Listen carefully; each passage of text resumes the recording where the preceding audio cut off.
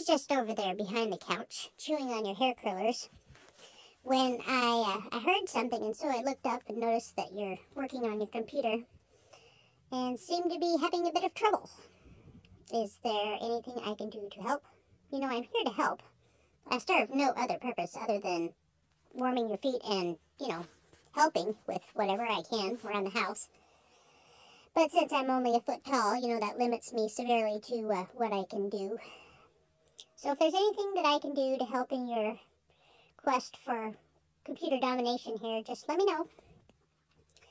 Uh, you might have a virus. Or, no, the thing's just crashing on you? No reason at all? Hmm. Well, can you open and close windows? Nothing? How about DOS? Do people still use that? No. Well, hit Control Alt Delete. Try that. No, you hit the Control button, and then the Alt button, and then Delete. All at the same time. No, at the same time. Jeez. Do I have to do everything?